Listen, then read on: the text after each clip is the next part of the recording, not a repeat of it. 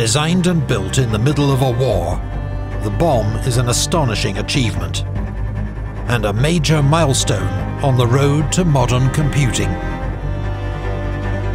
It allows Allied codebreakers to keep pace with the conflict, cracking Enigma codes at the volume required to uncover the enemy's plans, across land, sea and air, on multiple fronts.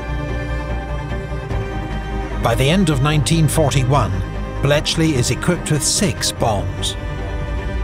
Six more are added the following year, with more machines moved to outstations around England.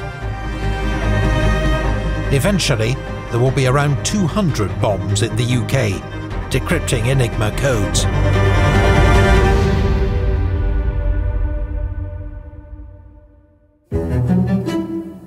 The machines require a large workforce to operate them. From the 24th of March 1941, this workforce is provided by the Women's Royal Naval Service, known as the Wrens.